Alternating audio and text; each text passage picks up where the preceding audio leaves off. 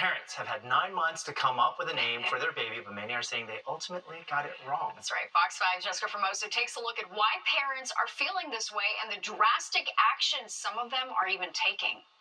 Layla, Olivia, Mia, Aiden, Liam, Dylan, all popular names, but how hard is it to choose your child's name? Well, she was supposed to be Samantha. Samantha.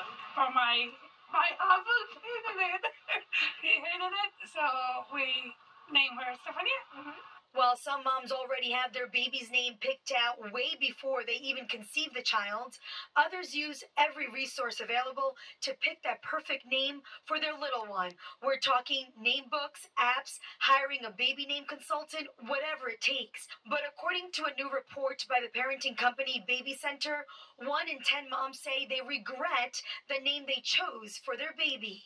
It doesn't surprise me. I think like there are mild forms of that, like, ah, yeah, you know, I would have gone with something different if I were doing it again. And then more extreme forms of that, where it's like it sort of occupies their every thought postpartum. Um, I just got an email today from someone saying, we want to change our baby's name. Can you help us? Baby Center surveyed nearly 500 parents and found out that 6% of moms said they went as far as legally changing their child's name after birth. Colleen Slagen, a baby name consultant, says her clients have done it.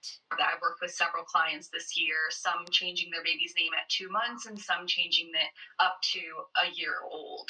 Um, so I do see it more. I think, you know, some people it's like they get a negative reaction and it makes them second guess everything. So why the regret? getting a negative reaction from family or friends after deciding on the name especially in a case where you choose a more unique uncommon name that is obviously going to be more polarizing.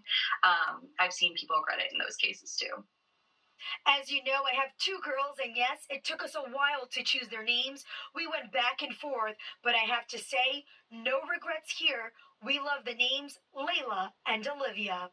In Queens, I'm Jessica Formoso, Fox 5 News. Wish Jessica gets it right. Ah, I love it. And your baby's name is Luna, your little girl. Yeah, I'm keeping that, That name. All right, out next, thousands of